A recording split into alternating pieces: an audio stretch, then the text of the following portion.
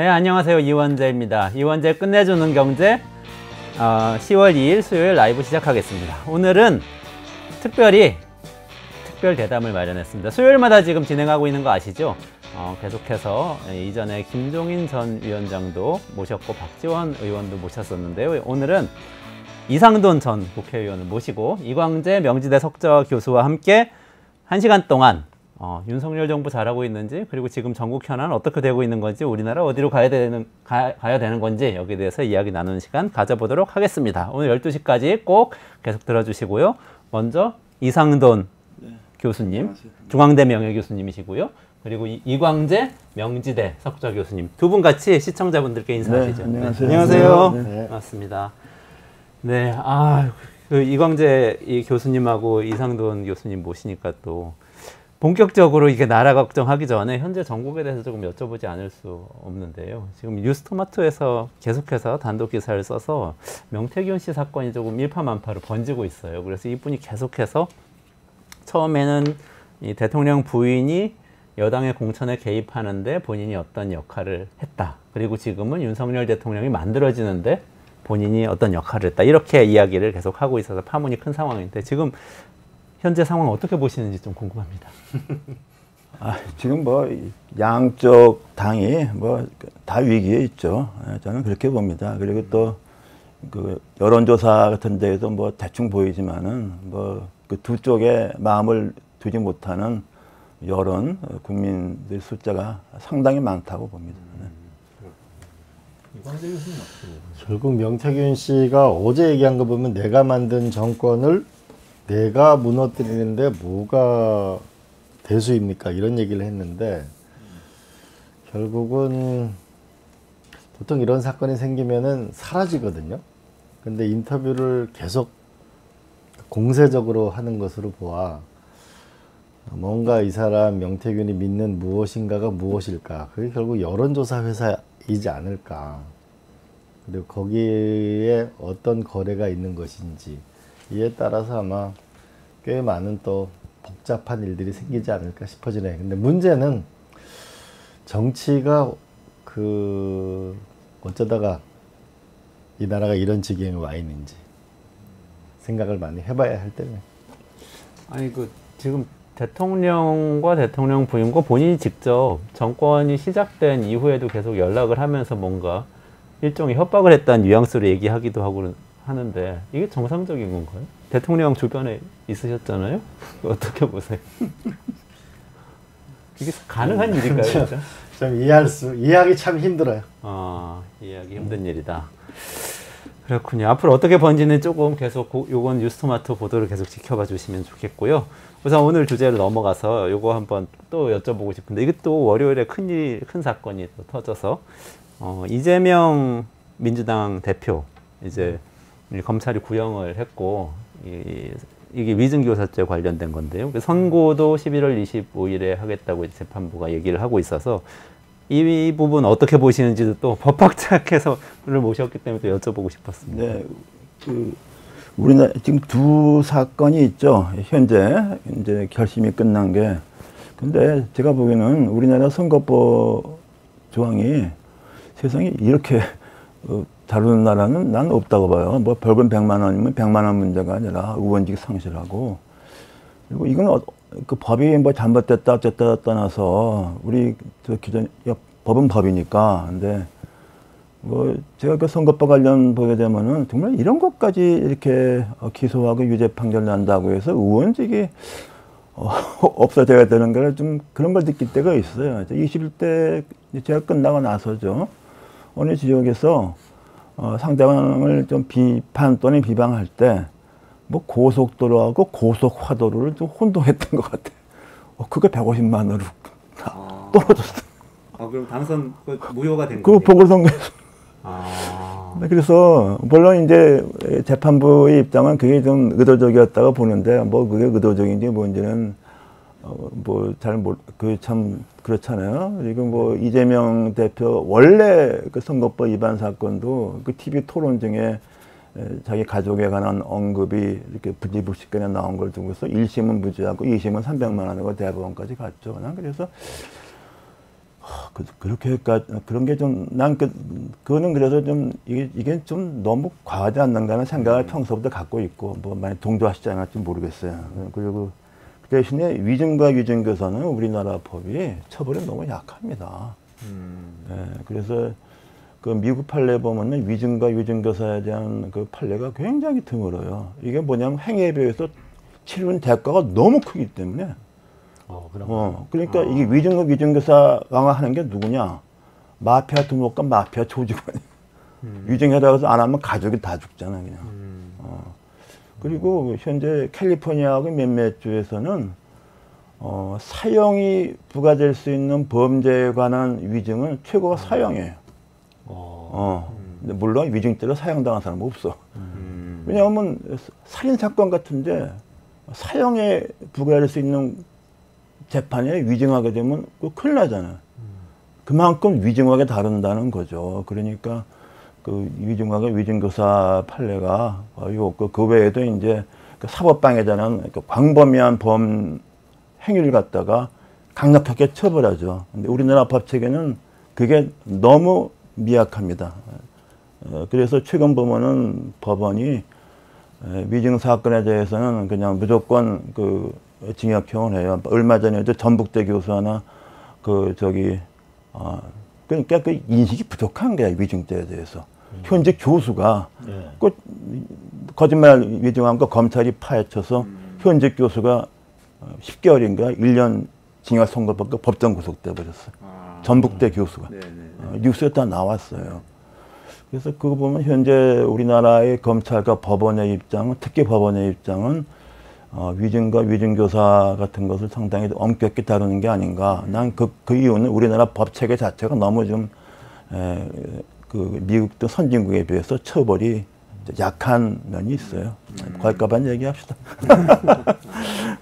아, 그, 그 사건은 저는 사실은 조금, 제가 어제 막 이렇게 녹취, 녹취한 것도 들어보고 그랬는데 의문이 많이 드는 게 되게 오래전이잖아요. 2002년 그러면은, 2002년에 있었던 일은 이미 그때 저는 이재명 대표가 사실 솔직히 제가 이런 이슈에 관심이 없어서 그런지 검사를 사칭했다는 건 줄 알았었는데, 아, 근데 그건 아니더라고요. 그래서 검사 사칭하는데 옆에서 도와줬다는 아주 20년 뭐, 년 전의 일이던데. 그건 여러 가지 그때에서 그- 그걸로 제가 무슨 벌금인가 받았잖아요. 네네네. 그러면 그때 일은 내 불찰이다 하면 그냥 넘어가는 거지. 예?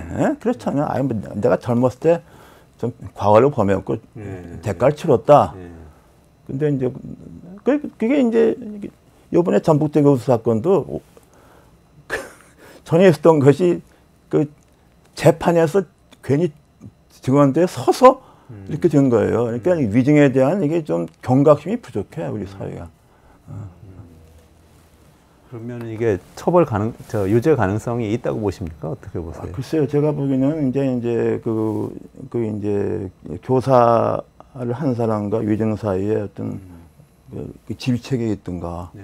회유 압박 같은 거 그런 걸 검찰이 얼마나 입증하느냐 음. 거기에 달려 있겠죠. 아, 현재 나온 거로는 혹시 그 내가 뭐 재판 과정을 잘뭐 네. 본 것도 아니고 그런데 어, 뭐 이렇게 재판을 오래 하고 방어를 그렇게 많이 했을 텐데 근데 어- 어떻게 생각하면 어처구니 없는 거예요. 그 처음부터 그뭐 선거부터 그렇지 뭐 그, 그 처음부터 그야말로 제 불찰입니다. 뭐 그럼 끝나는 거 아니야. 아, 그래서 난 좋아. 근데 원래 위증과 사법방해가 그렇습니다. 그 닉슨은 무엇 때문에 물- 물러났어? 어떻게 뭐 자기가 무슨 저 불법 침입 지시한 것도 아니고 보고를 잘못 받아서 약간의 어, 그거 갖다가 무슨 안보 사항인 줄 알고 CIA를 보통 보라.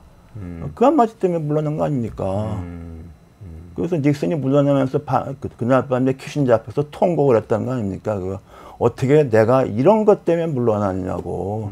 우린, 우린 그 역사의 교훈을 배워야죠. 음.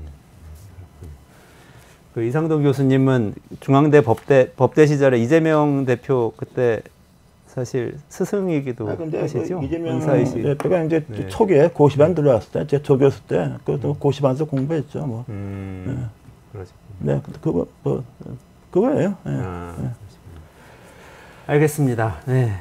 일단 뭐 현안 요 정도 하고요. 본격적으로 우리 정부가 지금 어떻게 잘 가고 있는지에 대해서 말씀 주시기 너무 제가 이상동 교수님 모시면서 이광재 교수님도 그렇지만 너무 이 정말 이거 여쭤보고 싶었던 게 이전에 사실 박근혜 전 대통령 처음에 이렇게 비대위 만들어서 등장할 때 그때 이제 사실 김종인 박사하고 이준석 네. 대표하고 같이 이렇게 비대위원 하시고 그러면 이제 전체적으로 이 나라 어디로 가야 되는지 또 고민을 같이 하시기도 하셨고 그 전에는 또 보수 인사라고 하셨는데 또 4대강 사업 반대하시면서 이명박 정권하고 또 이렇게 쓴소리 많이 하시기도 하시고 또 지난 대선 때는 또 이재명 대표 현재 이재명 대표 당시 후보를 뭐 지지하시기도 하시고 아니, 여러 아니 가지. 난그 지지한 적 지지하신 없어요. 건 아니고. 그건 또 아. 오해하지 마세요. 아, 난 네. 윤석열을 좋아하지 않았지. 아, 누구 지지한 적 없어요. 알겠습니다. 그래서 보수 인사로 이렇게 보- 말씀하시면서 또 국회의원도 지내시고 하셔서 정말 궁금했습니다. 일단 현안인데 지금 이 굉장히 중요한 그 의대 증원 문제, 그 의료계약 문제를 어쨌든 윤석열 정부는 본인들의 이 대통령 본인의 업적으로 만들겠다고 생각을 하고 이렇게 끝까지 밀어붙이는 것 같아요. 근데 지금 갈등이 해소가 안 되고 계속해서 응급실 뺑뺑이 문제 계속 불거지고 있는데 현재 상황 지금 어떻게 아, 보시나요? 근데 이거 응급실 뺑뺑이라는 것은 이건 굉장히 지엽적인 현상이고 그러니까 대부분 사람들이 이, 이 문제의 심각성, 그 복잡성, 파급을 잘 몰라. 언론도 몰라서 이렇게 된 거죠, 처음부터. 내가 뭐 TV 진행한 거 보면 아무것도 몰라, 그게. 나는 기본적으로 이건 윤석열이라는 대통령이 우리나라 한국 대학을 갖다가 유린한 거 아닙니까? 이런 일이 없었잖아요. 이거. 대학을 유린하는 것이다. 어, 그러니까 전현직 총장들이 한마디 말이 없잖아. 그게 우리나라 지식인들의 그 일그러진 초상이에요. 어? 너무 한심하다고. 어. 어, 그리고 전 언론이 찬성했잖아. 그러니까 윤석열 대통령 입장에서는 자기가 처음으로 취임 이후에 처음으로 모든 언론의 지지를 받은 거 아니야. 그러니까 우리나라 언론의 수준이 한심하다 그거죠. 어. 저 그런 인식이 있었기 때문에 결국 총선 전에 그 일반 국민의 민심과는 정반대의 기자회견을 한 거죠, 그죠? 그러니까 일반 민심의 반대가 아니고 그, 또 일반 국민의 여론이라는 게 또 이렇게 여론의 반칙이 정확합니까? 아니잖아요. 대중이 이런 걸딱 결정하면 됩니까? 이런 문제에 대해서 아니잖아. 그거 대중이 항상 현명합니까? 그렇지 않잖아. 보다 이런 특수한 문제, 개별적인 사안에 대해서는 과연 대중이 얼마나 현명합니까? 여론조사 그 허황된 거라고. 어. 그 말씀하신 의료계획을. 음, 의료계획을 원상태로 이렇게 돌려야 새로 시작해야 된다 말씀하셨는데 지금 해법은 어떻게 해야 됩니까? 해법이 뭐 지금이라도 그 제가 뭐 어저께도 CBS에서 말씀드렸는데 지금이라도 좀 파괴 현상, 이 의료 붕괴 현상을 조금이라도 손상을 막기 위해서는 내년도 입학 시험을 하지 말아야죠. 음. 그리고 그렇게 되면은 사과하고 그러면은 막 전공의도 그래도 50% 정도는 복구할 가능성이 난 많다고 봅니다. 그리고 내년부터는 어, 기존 의대생이 수업에 정상적으로 복구하죠. 네. 그러니까 전 전공의가 거의 전 전공의가 사표를 내고 전 의대생이 휴학을 했다는 것인데 그러면 내년 3월에 어, 재학생들이 학교에 복구할 명분은 뭐겠습니까? 지금 같이가 명 복구하겠어요? 교수들이 강의하겠습니까? 그렇잖아요. 그리고 우리나라 대학 정원용이라는 것은 그한 학년마다 토탈 돼 있지 않습니까? 배런감 두 배, 두 배 넘어졌잖아. 그, 그 자체가 법령 위반이죠. 그러니까 이, 이, 그 의대를 제멋대로 멀린 것도 절차법을 위반했고, 내년에 1학년 두 배 되는 것도 법령 위반이잖아. 어? 근데 이런 어, 일을 저지른다는 게 상상할 수 없는 거 아닙니까?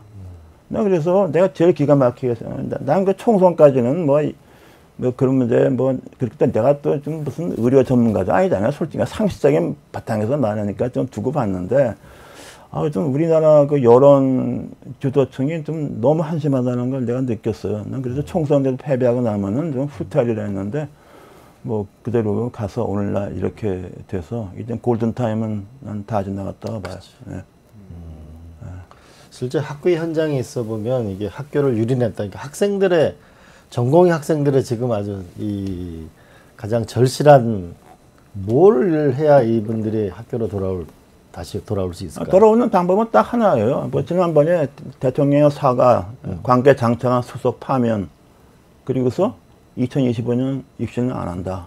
이렇게 되면은 아마 전공의 중에서 상당 뭐 과반수 이상은 돌아오지 않을까. 이렇게 되면은 뭐 내년 봄부터는 정상이 되고 학생들이 복귀할 명분이 되죠.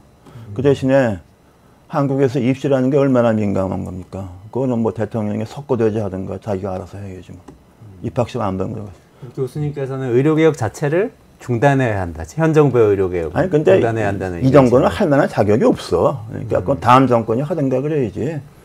뭐 의료계획에 좀 이것저것 나오는 얘기 다뭐 그냥 어, 한밤중에 일어나서 뭐 배란가 생각해서 내뱉는 거지. 뭐 말 나오는 게 하나도 없어요. 예. 근데 현재 이 정부는 그 뭐 의료개혁, 그 교육개혁, 노동개혁, 연금개혁 이것만은 반드시 하겠다 이렇게 계속 얘기를 하고 있는데 그건 어떻게 보세요? 아이, 그 말도 안 되는 얘기죠. 뭐 개혁이 뭐 어느 동네 강아지 이름인가. 우리나라 저- 역대 대통령이 다 개혁 개혁했지만 어, 뭘 결, 뭘 초래했어요. 노무현 정권 때 변호사 부족해서 로스쿨 했지만 로스쿨 성공했습니까? 왜? 성공했다 보는 사람 있어요? 그때 무리하게 의대 교수들 반대를 무릅쓰고 의대, 의학 전문자가 만들었잖아. 실패했잖아. 그리고 그러니까 법적 이론주의라는 게 영미식 특히 미국식 아닙니까? 로스쿨, medical school 미국식이에요. 그 미국에서 공부하고 내가 그래도 의료 문제 이해할 수 있으니까 내가 미국 시스템을 알기 때문에 말하는 거예요. 그거는 그 역사가 있는 것이고 이렇게 쉽게 별안간 도입할 수 없는 거예요. 그래서 의학 전문대학은 다 돌아가서 그 시행착오로 벌어진 게 손해가 얼마나 막심합니까? 로스쿨 그것도 그 반영됐습니까? 사시 낭인을 막기 위해서 했다 그러지만은 이제 뭐가 생겼어요? 로스쿨 변시 폐인이 생겼잖아. 그건 차원이 다릅니다. 왜냐하면 사법시험은 어, 일반 대학을 나가서 아무나 봐서 자기 위험에 공부해서 열심히 하면 되고 재수 없으면 아홉 번 떨어져도 되고 안 될 수도 있고 하는 개인의 문제인데 우리가 로스쿨이라는 거 시스템을 만들어서 제도적으로 3분의 1 일정 숫자가 떠- 떨어지게 만들었잖아요. 어? 그 누적되어 있잖아. 물론 그러면 로스쿨 들어가는 사람은 위험을 부담한 거라고 해서 그 사람 책임이라고 말하겠어요? 세상에 그런 로스쿨이 어디 있어, 그게. 그러니까 그거 완전히 잘못 도입한 거예요. 그 로스쿨 제도하고 이 사법고시 부분 부활 이런 문제가 다시 논의가 되고 그건 어떻게 보세요? 근데 이런 게 한 번 강을 건너면요, 그게 어려워요. 어, 그래서 그리고 또 하나는 그 사법 시험 때는 사법연수원 2년간의 교육이 있었어요. 그것은 출신 학교와 무관하게 엄정한 실력 위주의 공부를 가르쳐 세게 가르쳤어요. 내가 그때도 로스쿨 내 반대하는 칼럼도 쓰고 그랬어. 어, 그때도 전 언론이 찬성했어. 내가 그거 보도 뭐냐면 자, 이것은 논설위원 중에 내가 보기에는 미국 로스쿨 근처에 구경도 못한 사람이 대, 다인데 가본 사람은 한 명도 없고 한 번 로스쿨에서 공부했어 그 쓴 사람들이 아니잖아 그 미국 법을 압니까 그? 다 모르고 그냥 이번에 의대 정원하고 똑같은 거 아니야 다 모르고서 다 찬성한 거 아니야 그. 그러니까 지금 그리고 사법 연수원이 그것이 출신 학교에 관계없이 엄정하게 성적 관리해서 판검사를 했기 때문에 뭐 중앙대 경희대 같은 데에서도 판사가 나오고 검사가 나왔어요. 지금 로스쿨은 기준이 없잖아. 그럼 기준은 뭐예요? 학교잖아. 어떤 게 더 평등한 기회를 보장합니까? 지금 의대 정원 문제는 현 정부는 그 뭐 이게 이미 그 내년도 입시 이거는 뭐 포기할 수 없다고 선언적으로 말하고 있는데 이건 어떻게 그럼 풀 수 있는 거죠? 풀 길이 없다니까. 푸는 방법은 이게 내가 말씀드린 그거밖에 없어요. 이렇게 가면은 내년 3월은 무슨 일이 생길지 모릅니다. 네. 예, 그렇게 되면은 어, 현재 이제 점 어저께 나온 얘기가 저거 아닙니까? 서울대 의대에서 음, 교육부가 유급시키지 말라고 그랬잖아. 시- 뭐 학교 안 들어가도 스- 승진시키라고 그랬잖아. 그거 한 장관은 자기가 다닌 대학이 부끄럽지 않나? 교육부 장관이 자기도 그런 식으로 대학 졸업했나? 공부도 안 하고 어, 시험도 안 보고 진급하고 그렇게 대학 나왔나? 교육부 장관이 그 있을 수 있어요, 이게? 그 정도면 자기 그만두고 나와야지, 그게. 자기가 그래도 어, 공부도 하고 박사도 한 사람이면은 어째 거기 그대로 있어, 그거. 근데 거기에 대해서 하도 못하게 하니까 이따가 서울대 의- 의대에서 그 유급 받, 받지 않았습니까? 유급을 인정한 거죠. 그러면 이제 서울대 의대생들은 뭘 할 수 있습니까? 등록금을 환불받는 거죠. 그러면 이게 서울대에서만 그치겠습니까? 그러니까 놀래가지고도 교육부가 뭐 서울대를 감사를 하겠다 그래. 그건 완전히 돈 놈들이잖아, 그 완전 이거. 그러면 그게 서울대만 그치겠어요? 그럼 연대는 어떻게 되겠어요? 고대 이런 수익권 대학, 지방 거점 대학이 서울대를 따라가겠습니까? 교육부를 따라가겠습니까?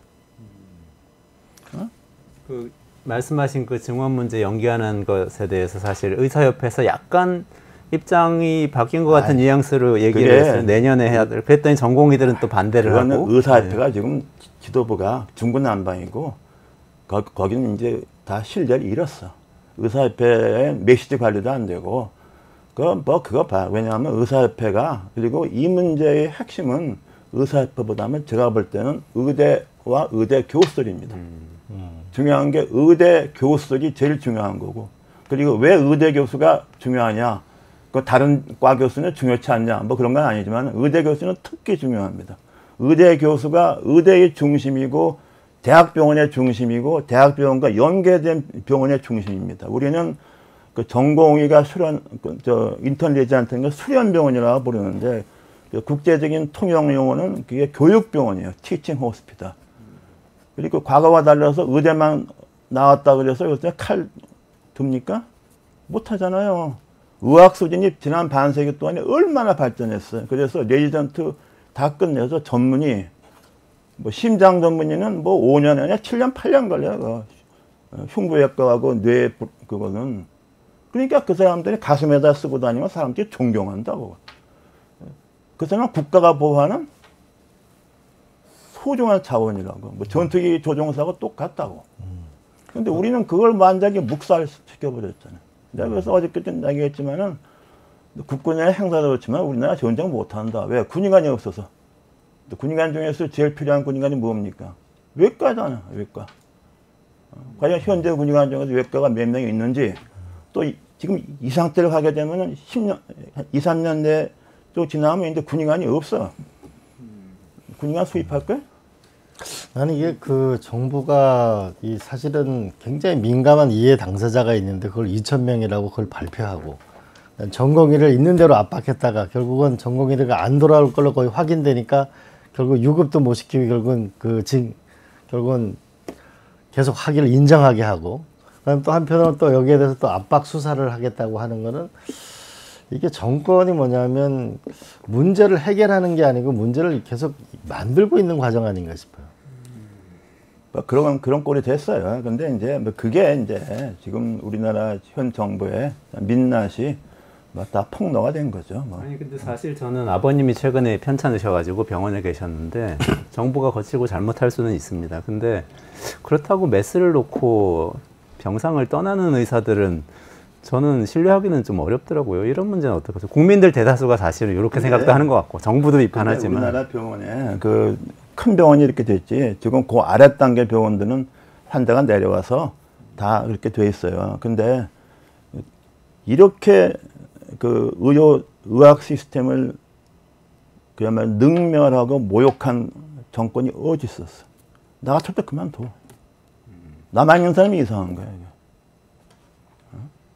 그게 대학 교수를 이렇게 우습게 보지 마세요.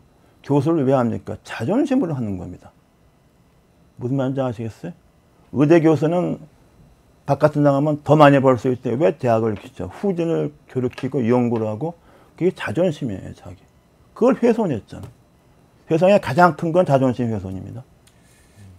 알겠습니다. 다음 주제로 좀 넘어가 볼게요. 윤석열 대통령에 대해서 조금 얘기를 해보고 싶은 게 사실 박근혜 대통령도 만드는 과정에 다 지켜보셨기 때문에 저는 윤석열 대통령이 일단 만들어지는 과정도 이게 어땠나 이런 게 궁금하기도 하고 그것하고 지금 앞으로 이 지금 정권이 계속해서 위기란 얘기가 나오는데 어떻게 될 건지 이것도 굉장히 궁금한데요. 최근에 뭐 한덕수 총리는 또 인터뷰에서 윤석열 대통령이 역대 가장 개혁적인 대통령이다 이렇게 얘기하기도 했습니다. 지금 어떻게 보시는지 좀 대통령 평가를 좀 부탁드립니다. 그런 총리 말을 귀담아 들을 필요가 있는가? 뭐 여기서 대담에 올릴 가치가 나 있나 모르겠어요. 시간 낭비하지 맙시다. 그좀 그런 얘기하기 좀 뻔뻔하지 않아? 그런데 왜 대- 이런 데 올려? 딴건 넘어가. 아. 이런 논평할 가치가. 없어. 그 현재 대통령의 지지율이 결국은 굉장히 이제 어려운 상황으로 한윤 대통령이 한테 이게 과연 끝까지 임기를 채울 수 있을까요? 아니면 서- 윤 대통령이 무슨 선택지가 있나요? 근데 선택지가 별로 뭐, 뭐 본인이 본인이 지금 이렇게 가니까 뭐 그대로 뭐 가는 게 아닌가 싶고 그리고 저도 이제 그 어, 근래 한 십여 년 동안에 뭐 정치 추이를 좀 많이 지켜본 사람 아닙니까? 근데 이제 그 어, 박근혜 대통령이 그래도 뭐 이렇게 뭐 잘못한다 어쩌고저쩌고 했지만 30% 이상 지지율은 또 가지고 있었어요. 이제 JTBC 그 사건 나오고 제가 놀란 게 몇 가지가 있었어요. 어, 그분 자기 아버지 옛날 여자 사과 못하는 사람 아니야? 근데 그 다음날 탁 치워서 나와서 사과했잖아. 깜짝 놀랐어. 그리고 또 하나 놀란 거는 어, 저 같은 사람은 그래도 최순실과 정연이 대충 알잖아요. 그리고 뭐 제가 알았던 제가 그 전까지 알았던 최순실 씨는 뭐 집에 그 저 박근혜 대통령 전 삼성동에 있을 때부터 뭐 가사 관리해주고 특히 옷을 관리했다는 걸 우리 아- 아는 사람은 다 알았어요. 그래서 나는 뭐 그 옷 이렇게 관리하는 그거 보고 별로 놀란 건 없어. 근데 그거를 일반 대중이 보고 깜짝 놀란 것 같아. 거기에 대해서 내가 좀, 아, 그건 내가 느끼는 것하고 일반 대중의 그 느끼는 게 다르구나 하는 걸. 그러니까 대중은 뭐 우리 복잡한 정책 문제보다 그게 더 다가오는 것 같아. 내가 좀 그때 그걸 느꼈고, 어, 그리고, 그리고 또 하나는 그, 그게 이제 사과를 제가 알기는 이 문제에 대해서 대통령이 사과를 하느냐 그냥 모른 척하고 가느냐 두고서 아주 가까운 몇 사람이 회의했다 그럽니다. 근데 뭐 거짓 뭐 나, 나도 뭐 내가 소스를 바뀔 수 없는데 거기 보면 한 사람은 의견이 없었고 뭐 두 사람은 에, 좀 지켜보자 하는 거고 한 사람은 사과해야 된다고 했는데 이제 그 사람 말을 들었던 것 같아. 근데 그게 이제 그게 박근혜 대통령의 심리였던 것 같아. 최암흑이라는 것에 대한 아주 그냥 그 나오는 거에 대한 그 뭐라고 그러니까 트라우마 같은 것 때문에. 근데 그러니까 어떻게 지지율이 폭락해 버렸잖아요. 그래서, 그래서 끝난 거야. 그리고 이명박 대통령도 제 기억에 보면은 처음에 이제 미국서 수입 건대 때문에 시위하고 할 때 그런 데 했는데 지지율 그때 최하가 한 게 반성문을 발표했을 때 아침 이슬 듣고 어쩌고저쩌고 그랬잖아요. 그 지지율이 그냥 확 떨어졌어. 그럼 그게 둘 다 제가 보기는 그래. 많이 틀린지는 판단했어요. 제가 보기에는 그렇게 되면은 콘크리트 지지층마저 실망하는 게 아닌가. 이해가 좀 동의할지 안 할지 모르겠어요. 어, 그러니까 막 밀고 나가면 콘크리트 지층은 지키지 않습니까? 그래서 그, 그, 그 이- 이명박 대통령 때그 후에 정현주 사장 막 기소하고 K, MBC PD 기소하니까 지지율이 올라가더라고요. 근데 그런 것을 내가 볼, 볼 때는 그러니까 이제 어, 에, 그런 걸 두고서 이제 여기서 후퇴하면 더 큰일 난다고 이렇게 뭐 그렇게 알려줬을 가능성도 어, 있지 않을까 하는 생각이 들고, 어, 아이, 제가 그래요. 그래, 그리고 또 하나는 그 박근혜 대통령 다른 것은 이미 그, 저, 저 여당에 비주류가 없잖아요. 리더가 없어. 그러니까 그 사람들이 에, 박근혜 대통령 그 탄핵하고 정권 야당에 넘겨주기 위해서 나왔으니까 자기가 정권을 만들 자로 나온 거 아닙니까, 그거. 지금 상황이 그게 아니잖아요. 좀 모르겠어요. 제가 보는 게 맞다면 제가, 제가 제 생각은 이렇게 해서 이게 무슨 돌파가 생길 가능성은 굉장히 어, 희박하지 않겠는가. 그게 불행이죠. 그럼 현재 이제 이, 이 대통령의 사과와 리더십, 지지도. 응? 근데 사- 많은 국민들은 아, 상황이 이렇게 어려우면 사과해야 되는 거 아닌가?라고 생각하는 또 한편으로 사과하면은 지지도가 떨어진다 그러면 오히려 더 강경하게 나갈 수도 있는 거네요. 네, 근데 그게 지금 이명박 박근혜 대통령 때 그러니까 박근혜 대통령 그러니까 박근혜 대통령은 그 사건이 그 개인적인 그 트라우마 그것 때문에 그냥 그래서 한번 생각해봐요. 자기 옛날에 아버지 문제 사과한 것도 인색했잖아요. 그 사과를 우리가 얼마나 애원했어. 선거에 그렇게 안 하면 선거에 진다고 뭐 인혁 땅이 유신이 뭐. 네 네 네. 근데 그거 가지고 사과 나 내가 그걸 놀랐어 솔직한 얘기로. 그 아버지 박정희 전 대통령이 권위주의적인 통치한 거에 대해서 사과를 해라라고 아니 그것도 힘들어. 자기 본인도 아니잖아. 그리고 어. 누가 우- 우리가 박근혜 그 지지한 게 무슨 그거 유신 연장하려고 하는 게 아니잖아, 솔직히. 그렇죠. 새로운 네. 박근혜기 때문에 지지한 거 아닙니까? 근데 대선 기억할, 아 그것 때문에 해먹었잖아, 그거 어. 완전히.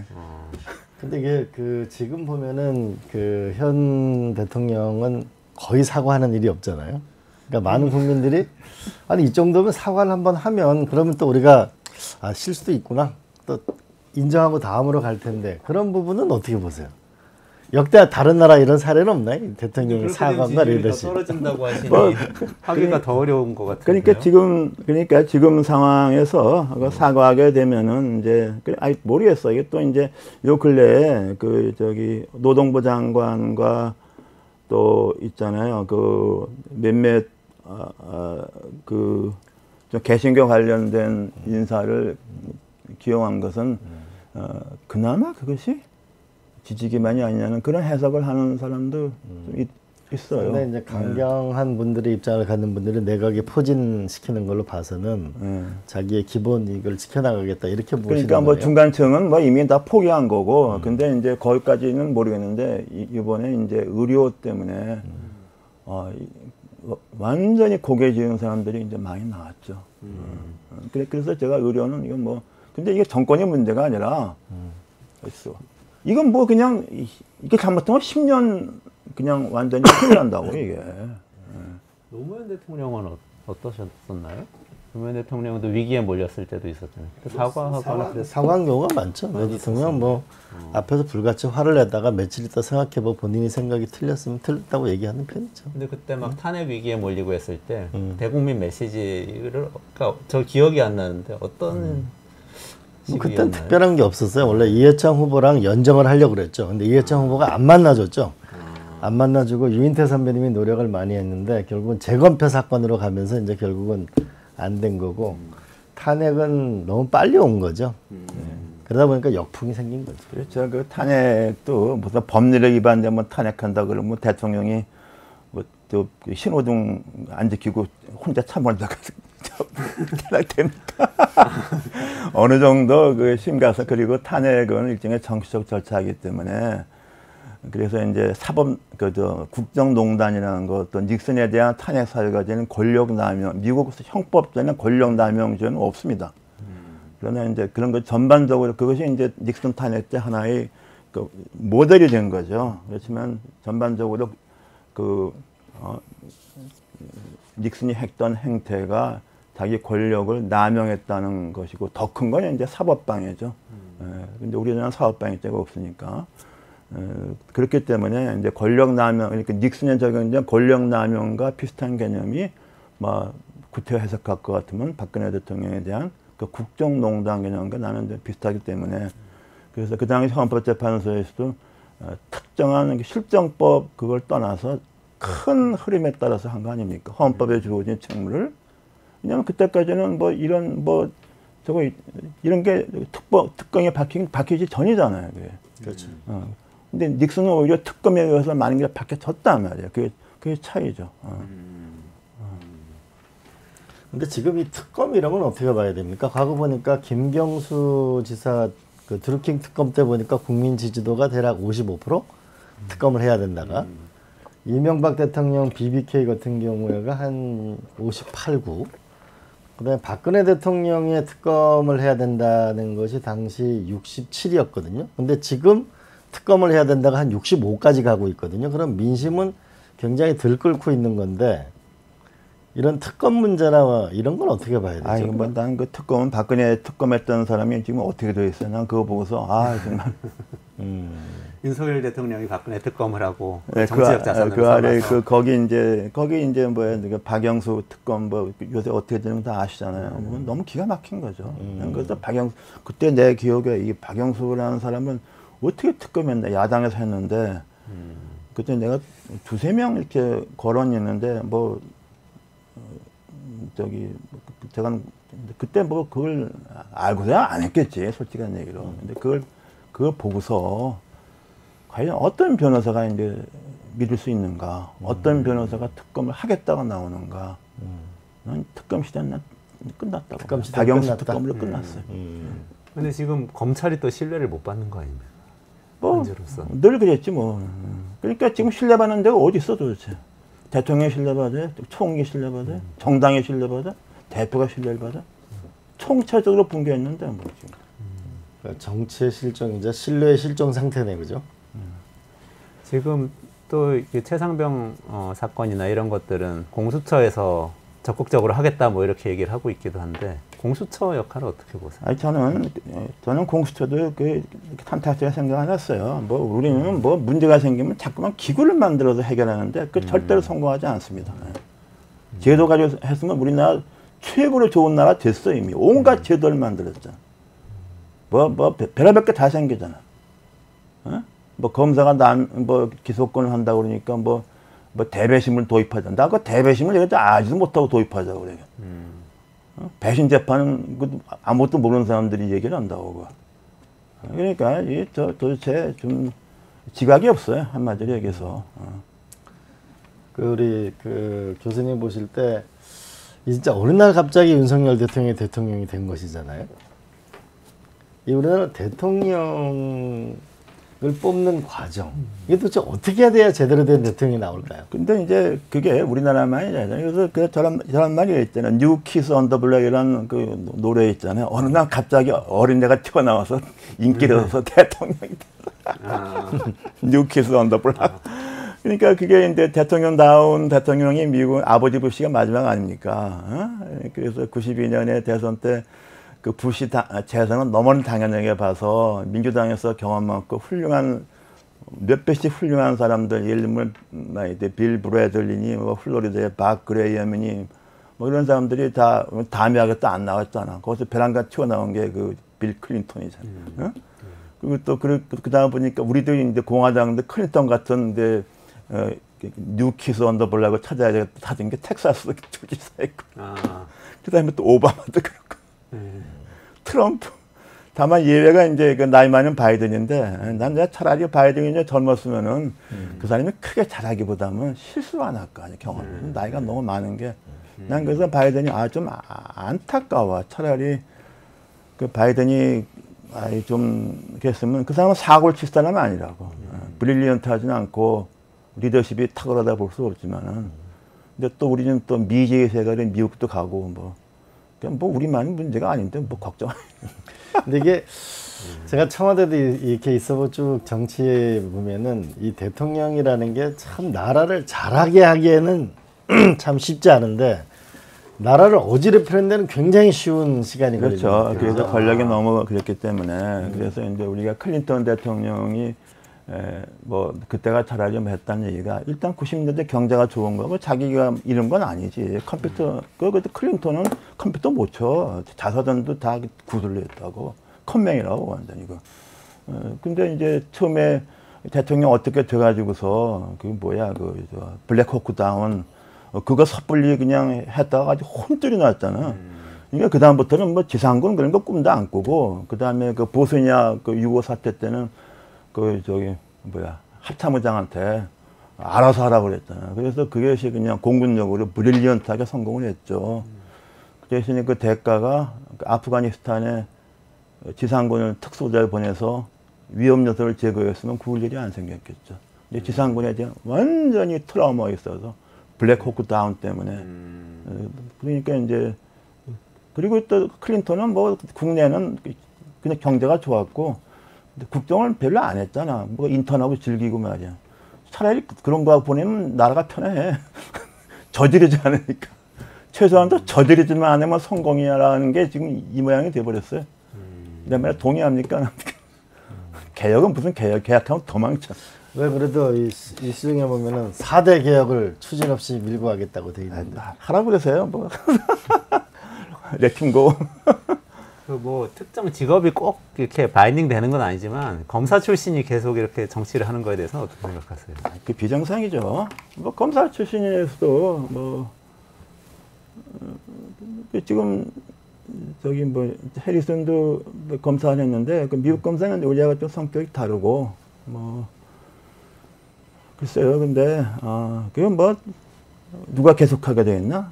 어, 어, 검사보다는 법조인이 많이 하잖아. 그렇죠. 근데. 그게 오히려 나는 좀 잘못됐다고 소죠. 그리고 아. 우리나라의 그 과거 사법시험 같은 게 과연 어 그게 이제 고도의 어떤 공부 집중해서 하기 때문에 다른 분야에 대한 소양 부족이 많습니다. 아, 어, 그리고 그 후에도 계속 법제기만 있으면은 그, 그거예요. 이제 그래서 뭐제 개인적인 얘기인데 제가 그 대학 동창회를 안 나가요. 맨 그런 얘기만 해. 평소 머릿속에 든 게 다 그거야. 소송 어쩌고 어쩌고 뭐. 그러니까 정도전 조선을 세운 정도전이 뭐라고 얘기했냐면은 사자죠. 그러니까 사헌부나 이렇게 거기를 많이 쓰게 되면은 중용하게 되면은 시시비비를 가리느라고 나라가 끝없는 싸움에 분열의 끝이 없을 거다라고 얘기했는데 법률가의 장점도 있지만은 또 하나 이 단점도 꽤 있어 보입니다. 그죠? 네, 그 법, 네, 법률이라는 게 분야도 많지만 일단에 아, 저 과거에 이미 일어난 일을 재단하는 게 법이고 그중에 좋은 것도 있어요. 법, 법의 정신, 뭐 우리가 말하는 헌법 정신, 입헌주의 뭐 그런 거에 대한 어, 좋은 거 논리적 사고 뭐 말하자면 법 중에서 좀 public policy에 관한 법 같은 것은 굉장히 장점이죠. 중요하죠. 근데 이제 변호사한테는 그 도움이 안 되죠. 어, 변호사는 그저 그 민사 문제, 휴식권의 민사 문제, 뭐 그 지하철역에 있는 광고 많잖아. 황혼 이혼을 도와드립니다. 뭐 이런 거, 어? 유류분 상속 전문 뭐 이런 거. 그러니까 지금 그런 세계에 몰입돼 있고 어, 한 사람이 과연 이런 public policy를 다룰 수 있겠는가? 나는 그렇게 생각하지 않아요. 한국으로 보면 어쨌든 과거를 뭐냐면 그 어떻게 재단하고 하는 것도 중요하고 사실 미래를 개척하는 것도 중요하잖아요. 근데 법이라는 게 그런 면에서 우리가 윤석열 검사 대통령 말고 한동훈 검사 대통령을 뽑을 가능성이 있나요? 난 뭐, 그- 그건 우리가 뭐 여기 토론 테이블에 올릴 필요가 별로 없을 것 같아. 어, 그리고 뭐, 아니, 저, 네, 근데 그게 이제, 그래요. 그래서 이제 과거 우리, 우리나라 법조 대통령이 많았잖아요. 그 사법 시험 때 올인하는 사람들이라고 해요. 근데 거기에 가지고 공통적인 문제가 다 드러난 거예요. 지금 이제 그 야당에서는 탄핵 이야기를 꺼내기 시작했지 않습니까? 이 어쨌든 정권이 지지율이 굉장히 낮은 상태고 여러 가지 이제 뭐 부인을 둘러싼 의혹 계속 터지니까 지금 그건 어떻게 보세요? 아, 탄핵은 정치적인 과정이니까 그저 200명 넘은 의원이 아무리 뭐 하더라도 대통령은 재직 기간 동안에 형사면책 특권이 있고 어, 그것도 그런 헌법 조항 같은 나라가 많습니까? 그게 별로 없다고 그게 그 멕시코하고 대만에 있나 뭐 그, 그게 이제 대만 헌법에서 이제 유래한 거죠.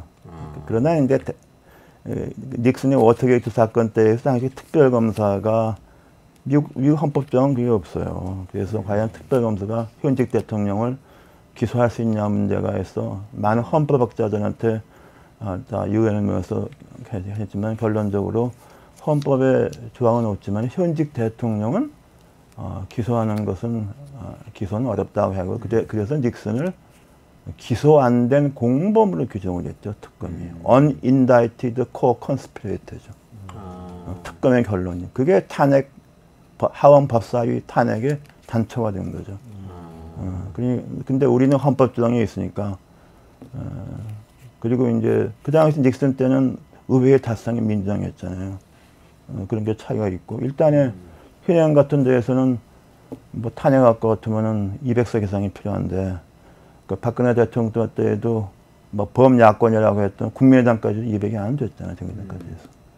결국은 그것은 여당에서 수십 명이 이탈했기 때문에 그것도 제가 보기에는 제가 기대했던 것보다 한 15명 이상 많았어요. 나는 45, 50명 했더니 64명이 이탈했잖아.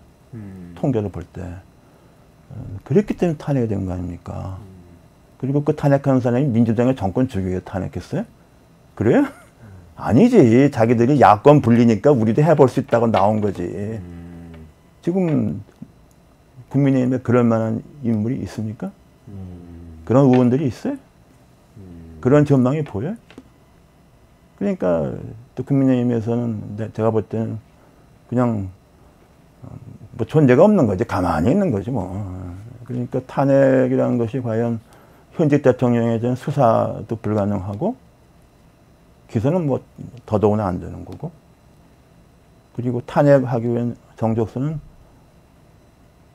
그러니까 이- 이게 말이죠. 박근혜 대통령 그 탄핵할 땐 나보고 하면 그 당시 탄핵이나 헌법 절차를 거치게 하는 데 대해서 나한테 누가 일등 공신이냐 그랬더면 나는 정세균 국회의장과 박지원 국민의당 당시 비대위원장 겸 원내대표로 나는 뽑아요. 어, 그 두 사람 때문에 헌법 절차를 거쳐간 겁니다. 어떻게 이렇게 보시나요? 네? 어떻게 이렇게 보시나요? 아 그러니까 그 당시 국회의장이 중요하잖아요. 음, 그렇죠. 어, 중요하고 그리고 우리 끝에 아시지 않습니까? 그 주말에 그냥 표결을 막 하자고 그랬잖아요 민주당에서. 네, 그랬죠. 표결했으면 부분 재판했어. 예. 그리고 그 주말에 박지원 비대위원장이 김무성, 유승민을 만나서 그렇게 해서 된 거로 나는 알고 있고 난 그게 정확하다고 봅니다. 예. 음. 그걸 연기시킨 게 박지원 원내대표. 안철수 의원까지 표결하자고 그랬어요. 음. 그러니까 내가 볼 때는 그래서 나는 그 두 원로 때문에 음. 우리가 탄핵을 갖다 탄핵은 헌법 절차입니다. 음. 평화로운 절차예요. 헌법이 인정하는 절차예요. 음. 그 얼터나티브가 얼터나티브는 우리가 상상하면 곤란하잖아요. 음, 그렇죠. 예, 근데 지금 와서는 그런 의도도 없고 어, 저간 그 여권에서 뭐 그런 결단을 할 만한 어, 의원들도 없기 때문에 그러니까 이게 뭐예요? 제일 안 좋은 거지. 그 정말 날카로운 포인트시네요. 국민의힘 내부에서 우리가 주도해서 정권을 말하자면 바꿔보자, 정권을 잡아보자 이런 얘기가 나와야만 탄핵 도 가능하다 이렇게 말씀하시는 거네요. 저는 그래야 사람들이 수십 명 나오지 않겠어요. 아, 그 당시 그 당시에 그 시점에 의원이 나왔었죠. 여론조사 보면은 안철수, 문재인, 반기문 3강이었다. 어느 때는 반기문 또 1등했어요. 네. 그렇죠. 그래도 안철수는 국민의당이 일단에 음. 범, 그 당시 야권이잖아. 음. 어? 그러니까 그런 계산이 있으니까 탈당하지 않았겠어요? 나는 그렇게 생각해. 음. 아니, 민주당이 정권 넘겨주기 위해 탈당했겠어요? 음. 아니잖아, 그게. 자기들이 무슨 우국 충종 지사야? 그게 아니잖아. 정치인은 다 이해 타산에서 움직이는 건데. 그래요, 안 그래요? 맞네요. 국민의힘에서 대권 꿈꾸는 사람이 나와야 탄핵도 가능하게 된다. 뭐 이틀에서 이런 말씀이시죠. 미래 설계가 가능하면은 근데 이제 그런 인물들이 과연 뭐 어, 모르겠어요. 근데 근데 그 얼터너티브가 과연 무엇이냐에 대해서 걱정하는 거죠. 예. 결국 이제 세 가지는 하나는 대통령은 결국은 기소할 수는 없다는 점. 그다음에 국회에서 결국은 헌법적인 절차로 결국은 좀 3분의 1을 넘어야 되는데 그 과정에서 정치력이 존재하지 않는다는 점. 또 하나는 이 국민의힘에서 탄핵을 통해서 집권하겠다는 이 에너지가 있을 때 결국 변화가 일어날 텐데 그렇게 보시는 거네, 그죠? 네, 그렇죠. 네, 네. 음. 유시민 평론가가 사실은 이제 좀 공교롭게도 말씀하신 거를 감, 비슷한 생각인지 어쨌든 자진 하야론을 펼쳤어요. 책을 내면서. 그건 뭐 자기 본인의 생각이지. 뭐 그, 그러면 작가 아니야. 작가는 뭐든 상상할 수 있으니까. 상상했습니다. 근데 아니 아까 교수님 말씀을 듣고 보면 어쨌든 윤석열 정부가 뭐 개혁도 하- 안 하는 게 좋겠고 뭘 하지 않고 이렇게 있어야 되겠고 전국은 교착 상태에 있고 국회는 또 야당이 다수고 이런 상태가 계속되면 한 3년 정도 임기 동안은 국가가 멈춰 있는 거 아닙니까? 그냥 멈춰 있기만 하면 다행 아닌가요? 지금 의료가 멈춰 있다고 봅니까? 아니, 의료 문제는 이게 윤석열 대통령이 다 만든 게 아닙니다. 과거에 누적된 정권이 필요한 개, 개혁과 막 개선, 인프루먼트 안 했기 때문에 이 필수 의료가 고갈된 거예요. 예? 그렇지 않습니까? 그걸 대중이 관심이 없었잖아요. 그래서 와서 완전히 속에서 거진 임계점에 와 있는데 엉뚱한 폭탄을 터뜨려서 터진 거지. 그래서 의대 교수나 전공의들 의대생이 나온 거지 단순히 이것만 그랬겠어요? 그렇지 않잖아요. 근데 그 아무 일도 없으면 다행이지. 무슨 뭘 하려고 그래. 이 교수님의 조언을 받아들이진 않겠지만 윤석열 대통령 내가 이 나라를 진정으로 애국심을 갖고 사랑한다면 나 같으면 이렇게 하겠다. 아, 이렇게 뭐 그럴 리가 없는데 뭐, 뭐 얘기할 필요도 없습니다. 그거 뭐. 예. 외국에서는 어떤 좋은 사례 같은 게 있나요? 어떤 게? 글쎄요, 여기 뭐 대통령 하는 나라가 몇 나라가 없잖아요. 그리고서 뭐 대부분 어, 그 중남미가 4년이니까 뭐 4년 동안 엉망돼서 그냥 4년마다 가는 경우가 있잖아요. 예, 그리고 뭐, 뭐 대부분 그 저 우원내각제 국가에서는 뭐 그 다선 의원들 이끌고 가고 그게 안정적이죠. 나는 그래서 장관도 좀 못 구하잖아. 차라리 의원 내각제 하게 되면은 난 장관이 훌륭할 것 같아. 의원 중에서 자기가 분야에 대해서 뭐, 뭐 복지면 복지, 국, 안보면 안보 이런데 저 상임위원 오래 하고 그 위원장 하고 그러면은 가장 훌륭한 장관이잖아. 그 엉뚱하게 뭐 이상한 교수 보면 뭐 온갖 거 이상해지고 다 안 되잖아. 지난번에 김종인 저 교수님이 나와가지고 이런 얘기를 했어요. 대한민국의 대통령이란 그 막강한 권력을 가지고도 이렇게 정치를 못해 나가는데 내각제를 하게 되면은 이거는 훨씬 국회의원들을 결국은 끌고 가야 되는데 훨씬 더 능력이 뛰어나야만 내각제의 수반이 될 수 있을 거다. 근데 누가 해도 지금 대통령 제보다는 잘할 것 같아. 에? 이거 대통령제 원형이 지옥이잖아, 완전히. 음. 뭐, 난 그래서 그 연임 허용하자 그러면 아, 5년 지옥도 지겨운데 8년 지옥 할라 그러네. 지금 윤석열 대통령은 나머지 지금 3년 가까이, 2년 반 정도는 임기는 채울 거라고 보시는 겁니까? 글쎄 모르겠. 나는 뭐 좀 느낌은 좀 채우기 어렵지 않겠나 봐요. 아, 뭐 네. 이게 좀 정권 말기도 음. 말도 아니고 중도도 안 나와서 이렇게 돼버렸잖아. 네. 가장 결정적인 것은 의료 문제. 음. 내가 그래서 그 자살 폭탄을 터트린 거죠. 아. 뭔지 모르고 한 거예요. 이게. 음. 근데 아까 말씀하신 대로라면 이게 못 채우면 어떤 방향으로 갈까요? 이게 헌법적으로 어, 나도 모르는데 이거 어떻게 탄핵이 안 되면 국민의힘에서 대권을 꿈꾸는 세력이 나타나면 탄핵, 탄핵으로 갈 수도 있겠군요. 글쎄 뭐 근데 그럴 만한 인물이 뭐 잘 보이지 않잖아요. 음. 네. 자 그럼 나라는 굉장히 표류하는 상태, 표류가 아니고 훨씬 더 나빠지는 상황이고 세계 정세도 결코 우리한테 유리하지 않고 네. 경제도 나쁜데 음. 이런 도대체 우리가 어떤 활로를 가져야 끌고 갈 수 있는 걸까요? 뭐 그걸 알고 있으면 뭐 여기로 있겠어. 예, 뭐한 사람이 이렇게 만든 거 아니고 음. 오랜 세월 동안에 우리가 그래도 이제 우리나라가 이렇게 버틴 거는 뭐 국제 정세의 도움도 있었고 또 이제 경제계가 또 기술 과학 기술자들 뭐 이런 또 경제계에서 뭐 이끌어온 거죠. 뭐 클린턴 대통령 경제 좋았던 그 지가 잘했어요. 80년대에 있었던 구조조정과 우연하게 그때 때마침 일어는 IT도 뭐 IT 클린턴이었나? 클린턴 컴맹이라고 타자도 못 쳐. 그 회고록 같은 거에서 다 드러났잖아요. 그러니까 그건 뭐 운, 운이지. 어, 근데 이제 우리나라 같은 경우는 이제 뭐 지금까지 쌓아온 것도 이렇게 어, 위기에 처하냐는 그런 생각을 하죠. 예. 그 워터게이트 때 말씀 주셨는데요, 교수님. 그러면은 그때 닉슨 대통령 사실 대사면 그다음 그다음에 포드였나요? 그다음에 대사면 얘기해주면서 마무리를 했잖아요. 네. 그 부분 그렇게 대사면하고 탄핵 이렇게 정리되는 건 어, 떻게 보세요? 그 이제 우리나라하고 미국은 법 체계가 다르죠. 우리나라는 현재 확정 판결 후에만 사면할 수 있게 되어 있잖아요.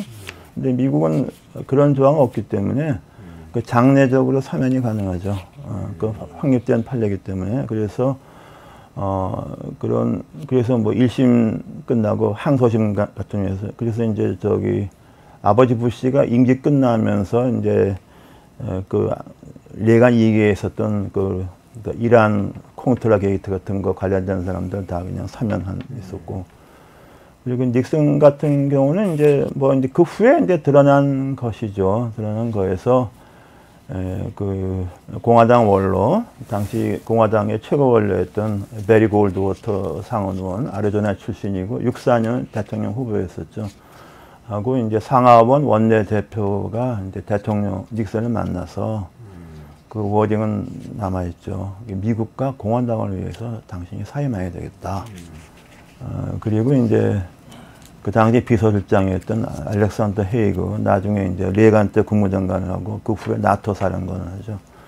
그 헤이그 장관하고 해서 결국은 좀 당신이 설득을 해라 그렇게 되었고 거기에 대해서 훗날은 걱정할 것 없다는 것이 이제 그런 했고 그래서 이제 그 다음에 대- 부통령이었던 그 조랄드 포드도 이제 처음에 와서는 그 닉슨 대한 여론이 굉장히 안 좋았어요. 근데 이제 그거를 여론의 부담을 불구하고 내가 이걸 사면하지 않으면 안 되겠다고 해서 결국에는 사면이죠. 사면이 이제 장례적으로 모든 형사 사- 사건에 대해서 형을 면제. 미국은 가능해요.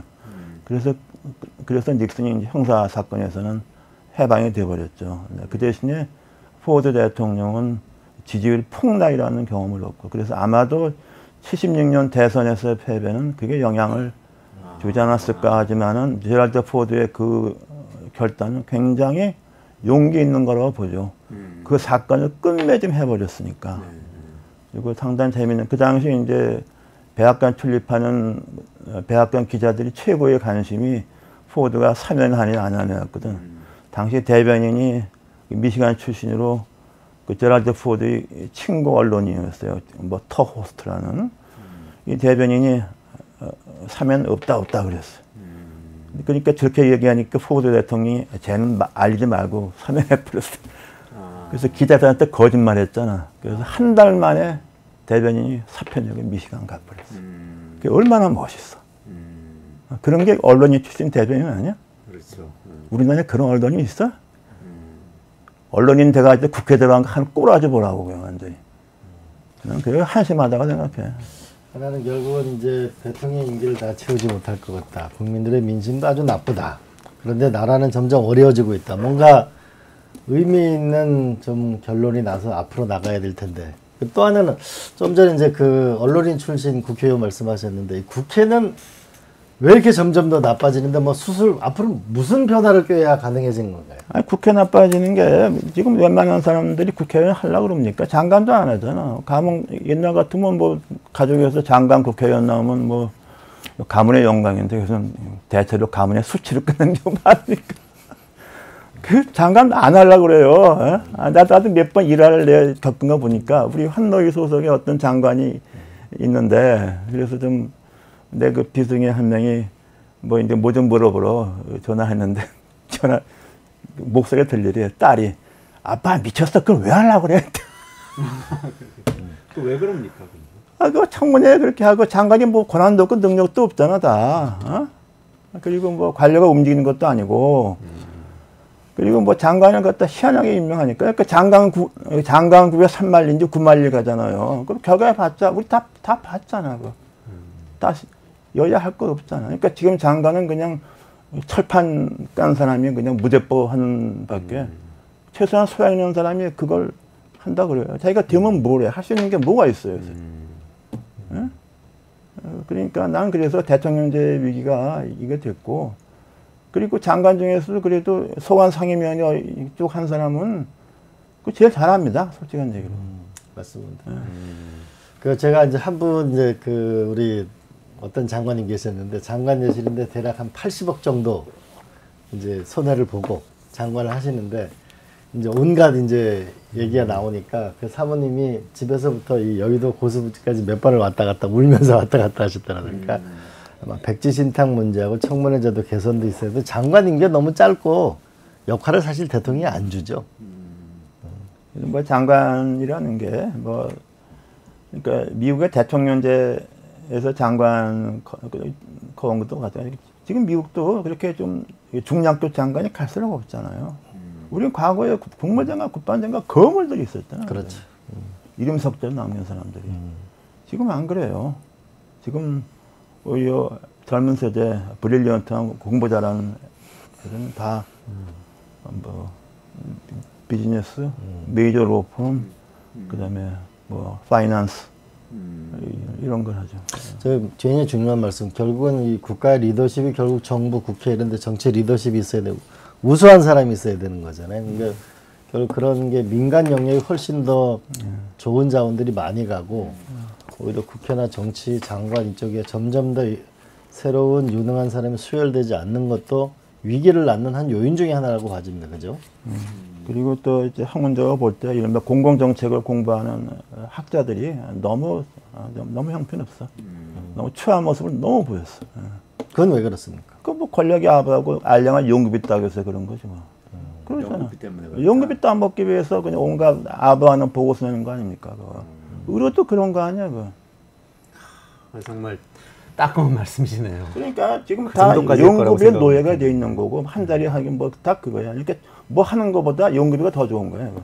음. 한번 청문회에서 바보 되고 뭐 장관 돼봤자. 음. 그 이제 문재인 정부 또 어떤 교수 하나 했다 탈원전했다. 그래서 검찰 수사 받는다고 그래서 애쓰잖아. 그 그거 도대체? 연구부에 노예가 되지 않는 이 학계를 만들려면 어떻게 해야 됩니까? 그 방법은 없어요. 뭐 좋은 사람들이 그러니까 그러니까 학교년 사람이 자존심을 갖고 일할 수 있도록 어, 분위기가 돼야죠. 그리고 또 그런 사람이 우대를 받아야죠. 말씀하신 걸 좀 이렇게 특히 또 공공정책 분야 공부하는 사람들이 난 상당히 난 우리 문제가 있다고 봐요. 음, 연구자들이 바뀌어야 연구자들이 난 그 특히 이제 나 자, 이 사회과는 말할 도 없고 내가 그 어, 수자원 학회를 내가 다 봤잖아요. 네, 내가 그 어. 맞으면 내가 그 환경 관련 법률 공부하고 그래서 어, 하청 관리에서 최고 의사결정기관이 중앙하청관리원회 위원을 했잖아요. 그렇죠. 음, 거긴 위원장 내가 잘 안다고. 그 사람들이 다 그냥 다 돌아 평소의 지론을 버려버리고 그렇게 돼버리더라고. 음, 내가 내가 거기에 내가 열받았잖아. 음. 그거 다 뭐냐 그러면 연구비 받아서 조교 대학원생하고 자기 돌아다녀야 될 거 아니야. 음, 그래서 그래서 그 모양 된 거야. 그게. 음. 그때 중앙하천위원회 위원들이 자기 평소에 소신 지켰으면 택도 없는 거지 그러면. 음. 그러니까 이 사회과학 뿐이 아니라 자연과학도 정치화돼 버렸잖아. 아주 연간 한 30조 정도의 R&D를 쓰는데 왜 우리는 세계적인 기술과 세계적인 담론이 잘 안 나올까? 참 뼈아픈 이야기네요. 자, 시간이 다 돼서 좀 정리를 해야 될 것 같은데요. 마지막으로 이거는 중요한 말씀인 것 같아서 좀 여쭤보고 싶은데 아까 어쨌든 이게 전국은 지지부진하게 정권은 계속 이어질 거, 건데 임기는 또 대통령 임기 못 채울 가능성이 높다고 말씀을 주셨잖아요. 마지막에 어떻게 정리를 하는 게 제일 현명할까요? 지금 뭐 변수는 열려 있는 뭐 것 같아요. 혼돈의 시간이 오는 거죠. 뭐.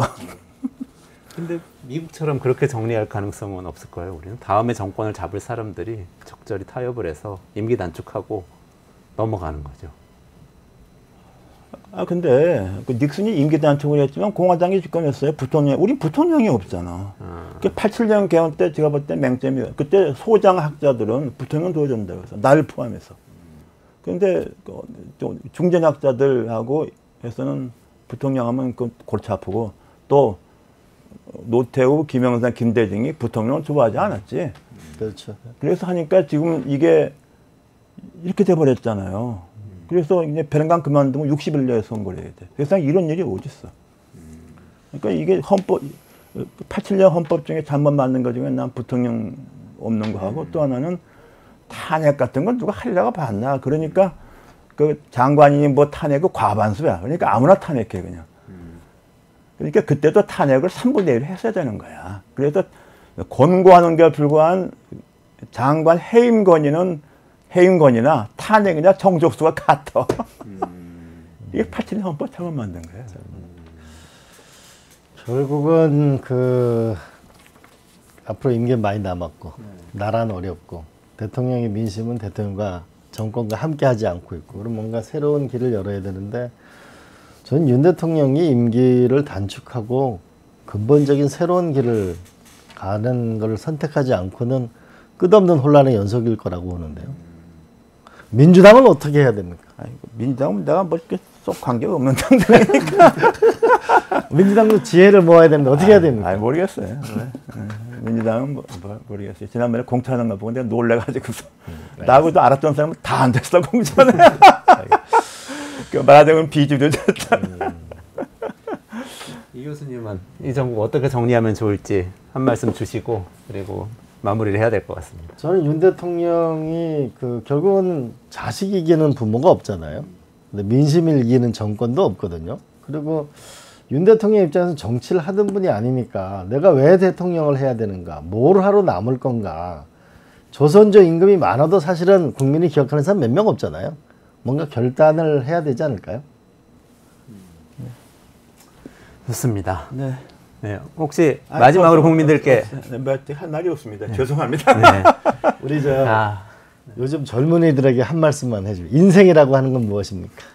아, 내가 모르겠어요. 저도 이제 고의가 넘었는데 뭐 인생이란 이렇게 짧지만은 않더라고요. 짧지만은 않고 에, 그래도 뭐 흔히들 뭐 부와 뭐 권력과 자리를 뽑지만 그래도 어, 부끄럽지 않게 사는 게 제일 좋은 것 같다는 생각을 합니다. 네, 거기에 내가 위로를 받습니다. 부끄럽지 않게 살아가야 되겠습니다. 네, 오늘 학자이시고 전직 정치인이신 이상돈 이 중앙대 명예교수님 그리고 명지대 이광재 석좌 교수님 두 분 모시고 현재 전국에 대한 이야기 앞으로 리더십 어떻게 구성되어야 될지 윤석열 정부 어떻게 가야 할지 좀 이야기 나눠봤는데 어떠셨어요?